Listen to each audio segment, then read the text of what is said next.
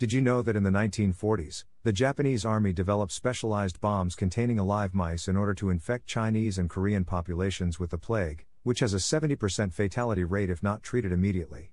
Check the pinned comment.